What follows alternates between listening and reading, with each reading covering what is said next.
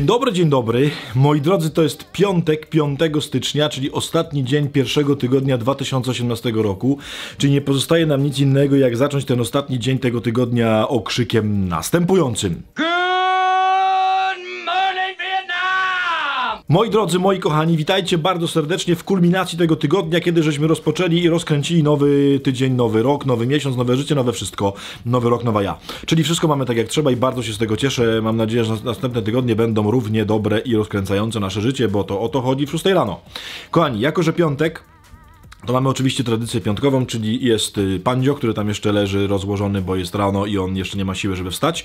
I oczywiście musi być pandziowy filmik, czyli jakieś rozkoszne pandziochy, które będą y, sprawiać nam odrobinę radości. Przynajmniej taką mam nadzieję, no bo one takie są chyba. No to popatrzcie.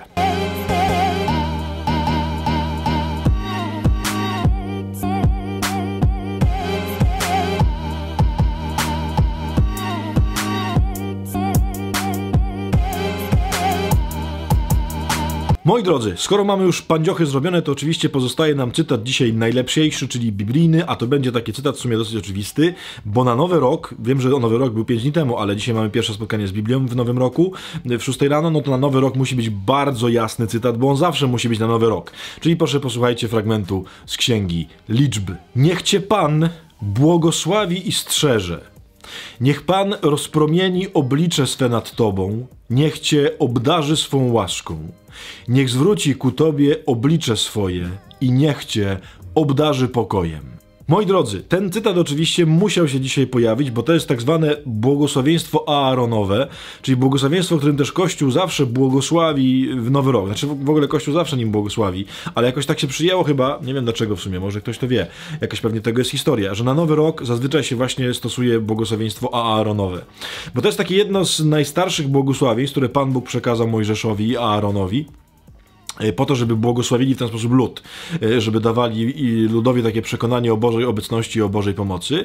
I Kościół to przyjął jako takie swoje błogosławieństwo tak naprawdę na każdą okazję. Mamy takie różne błogosławieństwa na różne okresy liturgiczne, na różne takie święta i tak dalej, a to jest takie błogosławieństwo, które jest po prostu zawsze wszędzie jakby aktualne, bo ono nie dotyczy, zauważcie, żadnych takich specjalnych prawd o Panu Bogu, tylko mówi o tym, że On chce zrobić najprostsze rzeczy w nas. Chce nas błogosławić, czyli chce do nas dobrze o nas i do nas mówić, chce rozpromienić nad nami swoje oblicze i chce nas wszystkich obdarzyć pokojem.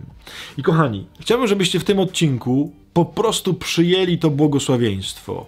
E, żeby, żebyście dzisiaj na cały rok przyjęli takie, takie proste przekonanie, że twarz Pana Boga wychyla się tam z za chmur, oczywiście mówiąc symbolicznie, bo On jest tuż przy Was, nie musi się znikąd wychylać, On jest obok Was nieustannie, w Was jest nieustannie obecny, ale że Jego po prostu rozpromieniona twarz codziennie rano się do Was uśmiecha i mówi, chodź, wstawaj, będziemy robić dzisiaj niezwykłe życie, będę Ci błogosławił, będę Ci dawał swoją łaskę i będę Ci obdarzał pokojem.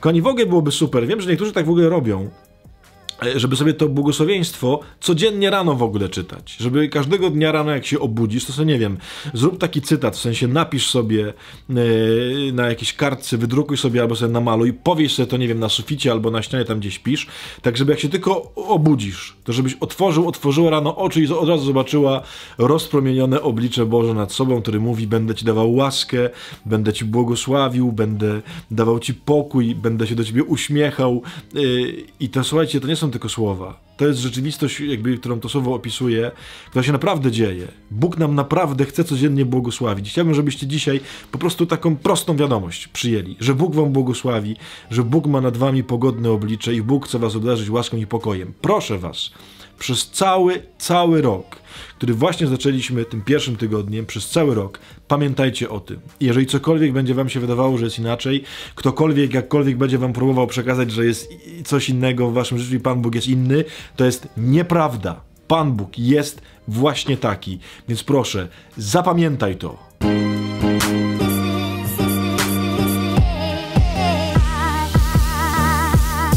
Łomatko, dobrze. No to nagrałem cały tydzień. Wy ten tydzień, mam nadzieję, oglądaliście. Będziemy się spotykać w kolejnych tygodniach. Mnie w ogóle za chwileczkę już nie będzie w Polsce, więc też będziemy się spotykać jeszcze z innych okoliczności, ale to może dobrze. Nie wiem po co to gadam. I kochani, dziękuję Wam za ten pierwszy tydzień. Mam nadzieję, że jesteście i że oglądacie 6 rano i że wróciliśmy i że wspólnie rozpoczynamy te dnie i poranki w takim, mam nadzieję, chociaż trochę sensowny sposób. Widzimy się po weekendzie, czyli w poniedziałeczek. Życzę Wam najlepszego weekendu, czyli najlepszej niedzieli. Niech to będzie dobra. W sumie soboty też, bo sobota jest bardzo świąteczna jutro, bo to jest Trzech Króli. Więc do zobaczenia y, w poniedziałek w kolejnej 6 rano. Ja będę. Czy wy będziecie? Zobaczymy, ale ja będę na pewno. Nie mam wyjścia po prostu, bo nagram i wrzucę. Więc nawet nie będę mógł zdecydować, czy tam mam być, czy mam nie być, więc będę. Skończę już to gadanie. Ściskam, pozdrawiam, błogosławię z Bogiem. Bardzo się z was i z wami cieszę, że tu jesteśmy. Z Bogiem, pa!